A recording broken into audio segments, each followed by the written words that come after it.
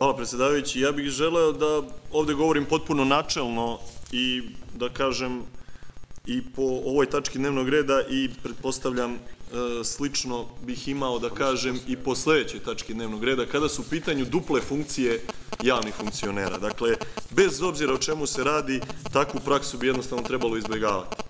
Dakle, neko ko se nalazi na tako odgovornoj državnoj funkciji člana Republičke izborne komisije, sada želi da se bavi i nekom lokalnom funkcijom e, člana, odnosno predsednika izvesnog nadzornog odbora na nivou jedne lokalne samuprave i to ne bilo koje, nego grada Beograda i jasno je da iza toga, po mom mišljenju, stoje određena partijska namirenja. Dakle, određeni partijski vojnici, da ih tako nazovem, odnosno kadrovi određenih partija na vlasti, jednostavno e, bivaju obezbeđeni za svu svoju političku i partijsku aktivnost time što dobijaju nadzorne i upravne odbore, time što dobijaju razne sinekure, razne povlastice, razne državne funkcije, razne državne privilegije, a kao što vidimo često i duple i troduple. Dakle, to je jedna praksa koja nije naravno nastala u vreme ove vlasti, To je jedna praksa koja već predugo traje u našem narodu i državi i e, smatram je pogrešnom i smatram je štetnom po dakle i vršenje tih javnih funkcija gde neko ovaj smatra da ima kapacitet da ozbiljno vrši više javnih funkcija A posebno je, naravno, smatram štetnom iz ugla te vrste partijskih namirenja, gde će određeni partijski i stranački vojnici biti zadovoljeni na taj način što će dobiti razne državne povlastice, dodatna primanja i više takvih dodatnih primanja za verovatno neko verno služenje partijama na vlasti. Dakle, ovo nije nešto što je novost u ovoj državi, ovo je jedan kancer koji izjeda ovu državu rekao bih, e, godinama pa i decenijama unazad. Radi se o klasičnom obliku stranačko-parazitskog sistema koji zapravo izjeda ovaj narod i državu, evo, punih 30 godina.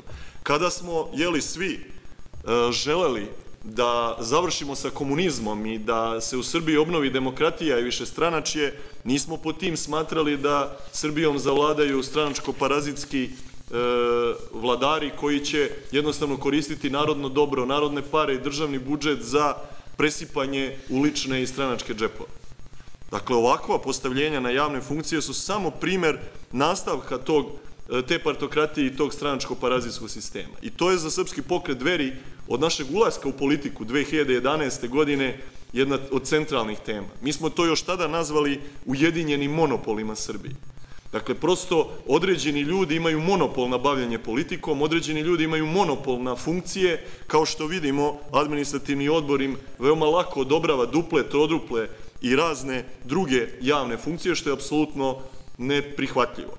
Naravno da često iza toga stoji, mislim da je to javna tajna i da niko to neće sporiti, stoji zapravo i finansiranje političkih stranaka na vlasti. Poznato je da većina političkih stranaka na vlasti, ne bih nikoga posebno imenovao, zahteva od svojih postavljenih i izabranih funkcionera da deo svojih primanja izdvajaju u stranačku kasu. Dakle, može se pretpostaviti, primjera radi za gospodina Miljkana Karličića, da će i on deo sada već svojih duplih plata morati da vrati u stranačku kasu i na neki način se oduži onima koji su ga imenovali na te dve funkcije. I to je naravno jedan od dodatnih načina finansiranja vladajućih stranaka. Šta naravno nakon toga mora da se uradi, mora nekako taj keš iz crnih fondova da se legalizuje i onda dođete u situaciju da imate jeli, 7000 ljudi koji uplate po 40.000 dinara na predsjednički izborni račun Aleksandra Vučića, što je, rekao bih, više nego evidentno pranje para, odnosno neko ovaj, na taj način iz crnih fondova neki keš legalizuje i ubacuje ga u legalne tokove novca. Dakle, e, sve su to zakulisne radnje jednog stranačko-parazijskog sistema koji vlada ovom državom predugo i koji zapravo, ja bih otvoreno rekao na neki način, direktno i indirektno pljačka ovaj narod i državu. Dakle, ja bih se zaista založio da administrativni odbor proba u nekom nastupajućem periodu da zabrani duple funkcije javnih funkcionera. Prosto to nije ni dovoljno moralno. To znači da nekome nije dovoljna jedna funkcija, odnosno da ima dovoljno vremena na jednoj odgovornoj visokoj državnoj funkciji, da može da ih vrši više, da je stručan za sve i evo i za Republičku izbornu komisiju i za nadzorni odbor e, jedne lokalne samouprave što jednostavno niti stoji, niti je normalno, niti je moralno i mislim da bi takve stvari jednostavno trebalo izbegavati. Mi moramo na neki način kad tad da zaustavimo to što je osnovni problem i kancer ovoga društva i države, a to je taj stranačko-parazitski sistem. Mi jednostavno u kontinuitetu imamo taj problem. Ovde, ponavljam, ne govorim samo o sadašnjem vladajućem režimu.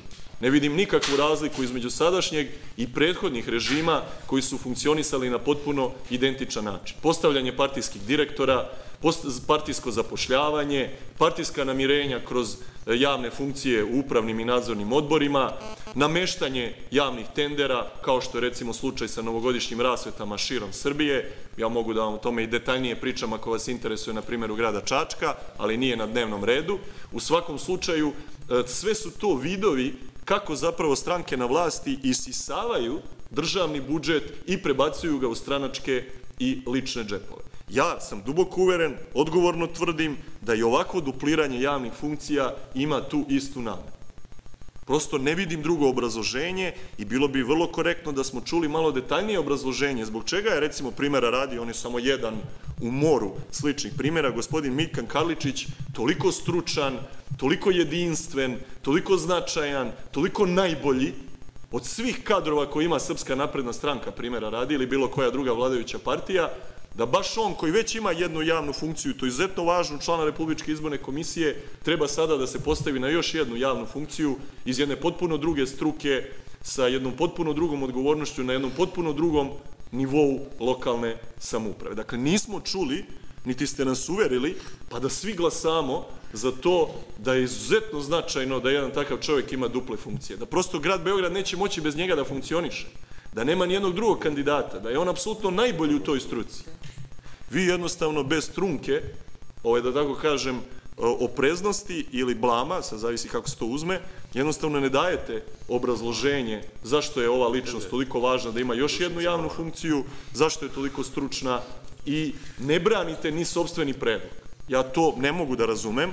Ako je ovaj vaš predlog toliko dobar, bilo bi vajda logično da neko od vas uzme reč i obrazloži svima nama i javnosti zbog čega ovom gospodinu treba dati drugu javnu funkciju. Dakle, što se srpskog pokreta dveri tiče i mene lično, mi ostajemo posvećeni borbi protiv stranačko-parazijskog sistema i partokratije koji izjeda ovaj narod i državu. Mi jednostavno, ako ne zaustavimo tu pljačku naroda i države koju partokratija ovde vrši, bez obzira na smenu vlasti, jedino je sigurno kako se smeni vlast, ono što ostaje, ostaje partokratija, ostaje pljačka budžeta od republičkog do lokalnog nivoa i zato mi nemamo dovoljno sredstava da uložimo u obrazovanje, u zdravstvo, u poljoprivredu, u selo, u mlade ljude, u novo zapošljavanje, jer jednostavno partokratija neprestano isisava novac iz državnog budžeta kroz razne ovakve partijske šeme i kombinacije. Verujte, i sa tim ću završiti, kad bismo u Srbiji uspeli samo da zaustavimo partokratiju i taj stranačko-parazitski sistem koji siše krv ovome narodu i državi, mi bismo imali toliko novih sredstava u budžetu i toliko velikih mogućnosti da uložimo u kapitalne projekte, pre svega boru proti bele kuge, a zatim i ključne ekonomske i socijalne mere, da bi se osetio veoma naglo i brzo jedan značajan boljitak u ovome narodu i državi.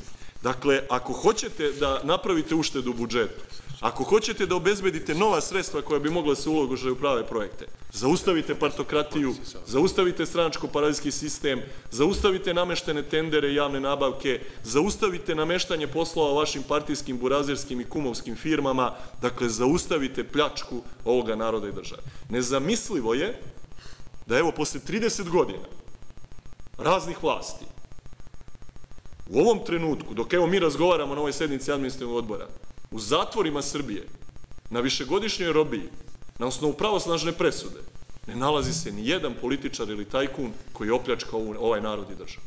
Da li je moguće da je ova država toliko uništena, firme upropaštene i opljačkane, čitava privreda, banke, dovedene do prosječkog štapa, a da za to apsolutno niko nije odgovor?